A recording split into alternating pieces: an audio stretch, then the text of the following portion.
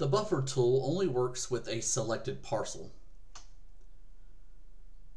Once a parcel is highlighted, select Buffer from the Tools drop-down menu in the top right corner. The buffer window can be repositioned anywhere on the screen.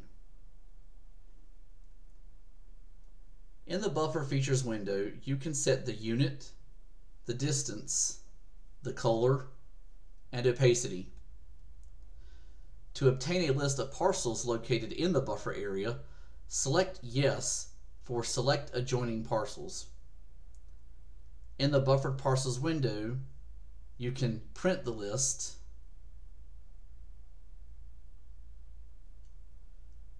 or export it to a CSV file.